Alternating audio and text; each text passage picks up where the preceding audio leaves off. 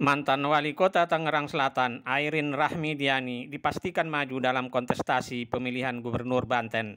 Kader Partai Golkar ini akhirnya terlempar oleh partainya sendiri. Tak lagi didukung Golkar maju di Pilkada Banten karena Golkar lebih memilih mendukung pasangan Andra Soni Dimyati Nata Kusuma.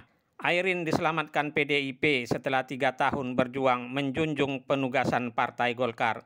Airin sempat terbata-bata menjelaskan posisinya Iya. saat ini. Apa ya tadi lupa lagi saya.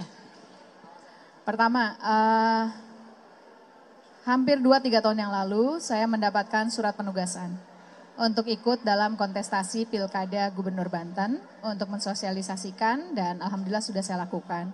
Dan kemarin saya ditugaskan juga sekaligus untuk pileg oleh DPP Partai Golkar. Alhamdulillah kita mendapatkan dua kursi di Banten 3 dengan perolehan suara saya 302.878. Dan kemarin pun juga ada surat eh, SK eh, sprint untuk pengusungan eh, saya dan juga Pak Ade tentunya, tetapi waktu itu kita menunggu dulu dengan daerah yang lainnya untuk sama-sama diumumkan. Jadi SK pun juga sudah keluar sebetulnya. Nah hari ini kita tinggal menunggu B1 KWK dan dengan kepemimpinan yang baru mudah-mudahan ada keajaiban pertolongan Allah.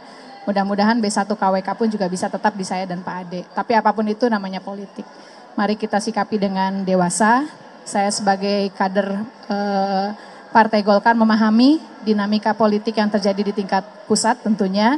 Terlepas dari yang sudah saya lakukan, mulai dari 2-3 tahun yang lalu, penugasan, mulai dari penugasan turun ke lapangan sosialisasi, bagaimana untuk bisa memenangkan eh, pileg, dan juga tentunya di Tangerang Raya dan juga di tingkat Kota Tangsel. Karena saya juga adalah Ketua DPD Golkar Tangsel. Sebagai Ketua KPPG Kesatuan Perempuan Partai Golkar pun juga sudah saya lakukan. Dan juga dengan segala kekurangannya tentu.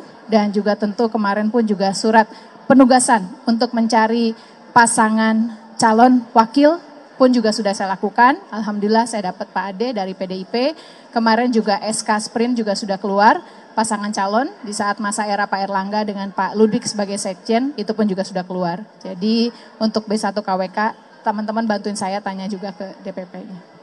Alhamdulillah hari ini kami telah mendeklarasikan antara gubernur, calon gubernur dan calon wakil gubernur di Provinsi Banten dari PD Perjuangan termasuk 8 kabupaten kota. Dan Alhamdulillah tinggal nanti kita menunggu B1 KWK dari Ibu Ketua Umum yang akan diserahkan langsung oleh beliau. Terima kasih.